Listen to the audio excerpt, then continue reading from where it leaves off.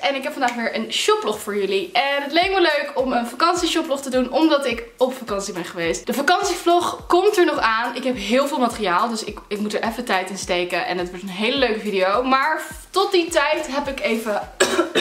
keelpijn.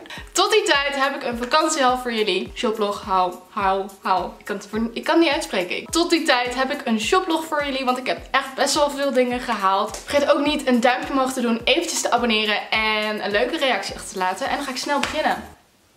Because I got a lot. Hier zijn drie items die ik voor de vakantie had gekocht. De een had ik echt heel random opgepikt en dacht, oh dat is leuk en was goedkoop. Nou, dan neem ik die mee. Dat was deze. Dit jurkje. Het was een L, dus ik dacht, oh, eh, misschien te groot. Maar we'll just try. Ik heb hem daar gewoon in de winkel over mijn hoofd heen getrokken. En ik dacht, nou, oké. En ik heb betaald. Super chill ding. Ik raad heel erg aan. Ook is het misschien een beetje laat en is hier al op vakantie geweest. Ik raad heel erg aan om dat soort simpele jurkjes te halen. Het is gewoon super chill om aan te hebben naar het strand. Want dan loop je er even in. Het is lekker fladderig. Je gooit het over je hoofd heen. Het valt gewoon naar beneden en het zit. Je doet het weer uit als je op het strand bent. Dan doe je het weer aan als je een ijsje gaat halen of even gaat lunchen. Dan ga je weer naar huis in je strandjurkie. En dan gooi je het weer uit en dan klaar. En wat ik ook nog heb gehaald is dit topje. Dat was ook best wel spontaan. Ik dacht, nou ja, misschien wel chill om toch nog ergens een makkelijk crop top wit ding te hebben waar ik wel overheen kan gooien. Lekker chill, lekker makkelijk. En deze heb ik van de Pull Beer. Er is letterlijk een, ehm, een, een account aangemaakt hiervoor. Zodat mensen kunnen zien ehm, waar mijn kleding vandaan komt. Ah, top met design van Pull Bear. Dat was het. en dat was 8 euro. Dus het was niet heel duur. Nou ja, op zich is het natuurlijk ook een klein topje. Dus je, je wilt hier ook niet meer geld uitgeven dan 8 euro. Het gaat gewoon boven elke broek, elk rokje. Het is gewoon super makkelijk te combineren. En het is gewoon lekker dun. Niet zoveel stof. Want als het zo heet is, heb je helemaal geen zin in heel veel, heel veel stof op je lichaam. Wat ik ook nog wilde zeggen trouwens jongens. Even tussendoor. Ik en mijn zus hebben een United Wardrobe account aangemaakt. En er staan al best wel veel dingen op. Dus als jullie benieuwd zijn wat wij op onze United Wardrobe dingen account hebben staan. Ehm, vergeet dan niet in het linkje in de beschrijving te klikken en eventjes te kijken. En misschien komt er een leuk pakketje jullie kant op als jullie iets kopen. Deze had ik ook voor de vakantie gehaald. Een soort kimono jasje. Ik laat het zo allemaal try-on shots zien. Die heb ik niet eens super vaak aangehad. Maar het was dus blijkbaar dat dat ook nog gewoon te heet was. En ik dacht, ja, we need to layer up guys. Ik ben gewend dat het ineens koud kan zijn of ineens warm. Twee truien mee, nog geen enkele seconde aangeraakt. Je gewoon een simpel jurkje aandoet, dat er overheen trekt. En dan, nou ja, dan is je outfit gewoon meteen geüpdate. Wat ik nog meer heb gehaald bij de Prombeer was dit ding. Dit shirtje, het was een tientje volgens mij, was ook bij de sale. Ik heb hem niet extreem, extreem vaak aangehad, maar ik heb hem een keertje in de avond dat ik ergens heen ging heb hem aangehad. Daar heel blij mee. Dus dat waren een beetje de dingen die ik ter voorbereiding had gehaald voor de vakantie. Nu ga ik de dingen laten zien die ik tijdens de vakantie heb gekocht. En dit was het eerste item. En die heb ik bij Lefties gehaald. Dat zullen jullie ook in de vlog zien. Het was een soort van Primark Bershka-achtige winkel. Super groot, heel tof, heel goedkoop. Dit setje was bij elkaar 24 euro. Tussen de 20 24 euro voor zeg maar een topje. En hebben we passende kokerrok. Gewoon super leuke dingen daar. Dus als je een keer in Spanje bent, go check it out. Lefties, super leuk. Dus super blij met dit setje. Dit is echt ja, het zit super lekker. Je kan er gewoon lekker in lopen. Je kan gewoon be- bewegen. Het is niet warm. Het, het zit gewoon super chill. Ik ben er echt heel erg blij mee. En deze snelle planga heb ik ook van Lefties. En dit was 3 euro. In Nederland is deze bril 10 euro. En eh, ik dacht eerst, nou ja, deze,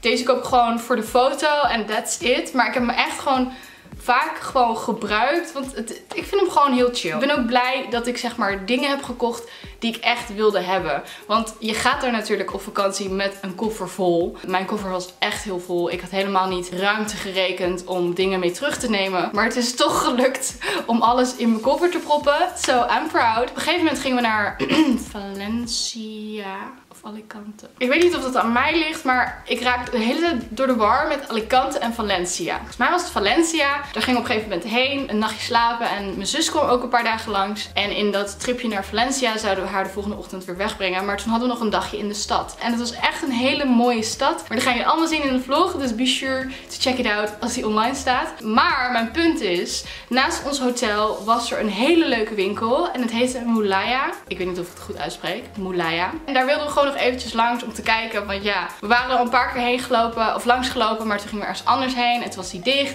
Dus de volgende ochtend dachten we oké, nu gaan we hierheen en gaan we even lekker los. En dan... Uh, top. Ik heb drie dingetjes uiteindelijk gekocht. Ik had wel een gat in een van mijn items. Heb ik genaaid. Super tof. Het is wel goedkoop. Maar ik ben nog steeds super blij met de items. En ja, klein gaatje, snel genaaid is ook zo geen probleem. Eén ding van de dingen die ik heb gehaald is een rok. Het is een okergele rok. Ik ben echt heel erg van de high dingen. Dus dat vond ik super leuk. Het is met knoopjes.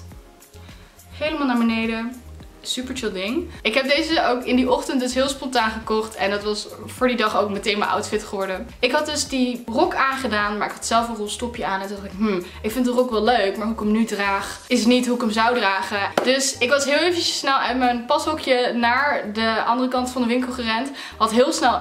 Ik heb letterlijk het eerste beste blouseje dat ik zag hangen gepakt. Omdat het wit was. Die aangetrokken op die rok en gekeken of ik het leuk vond. En toen heb ik eigenlijk gewoon heel impulsief dat blouseje ook gekocht. Omdat het gewoon per ongeluk heel leuk stond. Dus dit is het blouseje. Super simpel blouseje, maar ik had nog niet een model zoals dit, zeg maar. Het is uh, geen mouwtjes en soms vind ik dat niet zo leuk, maar ja, per toeval kwam ik dit tegen. En ik was letterlijk gewoon weggerend. Oh, hier bloei, oké, wit, oké, neem me mee, doe ik hem aan. Oh, het staat leuk, oeps. Ik weet niet, volgens mij, volgens mij heb die ook gewoon online. Mijn laatste item van Moulaya was een broek. Die hebben jullie misschien ook al voorbij zien komen. Deze broek. Heel simpel stofje. Hangt gewoon lekker lubby over je heen. Ik ben super blij met die broek. Want ik wilde gewoon heel lang al iets met een blaadjesprint. En ik weet niet. Ik kwam het gewoon niet tegen in de vorm die ik wilde of zo. I don't know. En ik zag deze hangen en ik dacht... Ja, I need this. Ook in Valencia was er blijkbaar een bubbelbad. En ik had geen bikini meegenomen. En ik dacht, ja, ik moet echt in dat bubbelbad. Ik heb er uiteindelijk vijf minuten in gelegen. In gelegen. Maar toch wilde ik op zoek naar een badpak of een bikini. Zodat ik die ene avond in het bubbelbad kon liggen. Don't ask me why. Was totaal niet nodig. Maar we zijn naar Alehop gegaan. En Alehop was echt de winkel van Spanje. Uh, mijn oom was helemaal fan van Alehop. Ik ondertussen ook, want het was echt een leuke winkel. Het is een beetje een soort van een Flying Tigers, maar dan Spaans. En daar heb ik dus mijn badpak gehaald. Deze. Positive Vibes. En ik ben er oprecht heel blij mee. Het heeft gewoon cups. Zeg maar, het heeft echt wel goede support. Ik vind het toch wel prettig met het idee dat dat gewoon covered is. Hij heeft niet echt een hele, hele erge low back.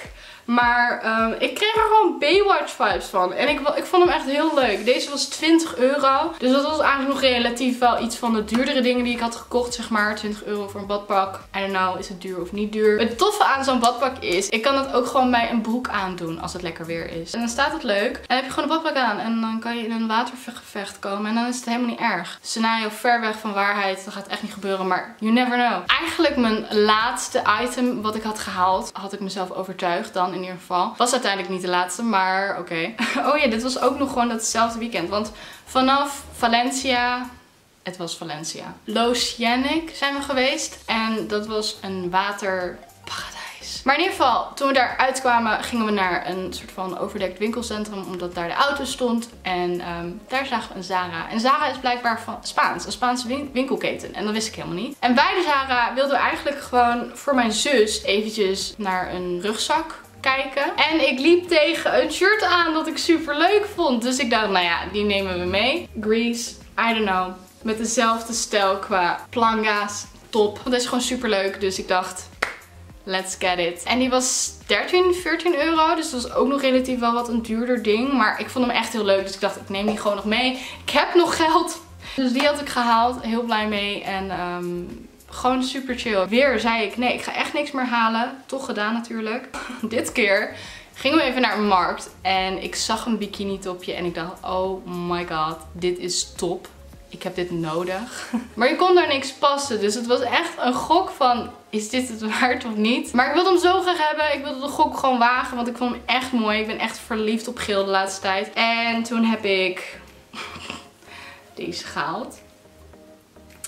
En um, weer zo'n soort, ja, off-shoulder-achtige situatie. En uh, ik zal even een foto, ik, een foto laten zien van waar ik het mee aan had. Ik vond het echt heel leuk samenstaan. Uiteindelijk heb ik deze gekregen van mijn oom en zijn vriend. Super leuk, dankjewel. Want ik had geen geld meer. Ik had geen contant geld meer. Dus ik zat, iemand hebben jullie contant geld? I need this bikini. Het wordt weer minder warm, dus dat is wel weer kut. Nu heb ik nog een paar accessoires en sieraden. Dit is een bestelling die ik had gedaan op de vakantie, dus ik tel hem even mee. Ik heb weer een paar snelle planga's gehaald. En um, ze lijken een beetje op die ander.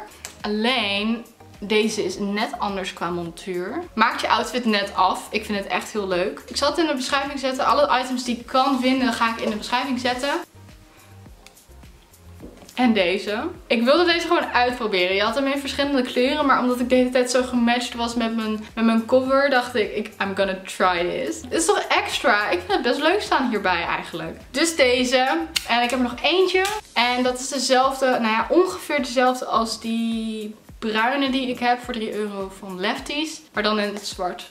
Dus ik ben bijna klaar. Ik heb alleen nog een zakje oorbellen en kettingjes die ik heb. De kettingjes heb ik gekregen. Maar ik zal ze laten zien, want ze zijn handmade by Mel. Mel, Mel, Mel. Sieraden bij Mel. Dus check haar even. Ik vind het altijd heel leuk als mensen gewoon, zeg maar, als iemand gewoon zoiets opstart op zichzelf. En daar dan weer ding van doet en zo. Het zijn helemaal geen dure sieraden, maar het zijn echt hele leuke sieraden. Dus het is echt het kijken waard. Heel de vakantie zat ik de hele tijd van, ik moet zo'n kettingje met van die schelpjes hebben.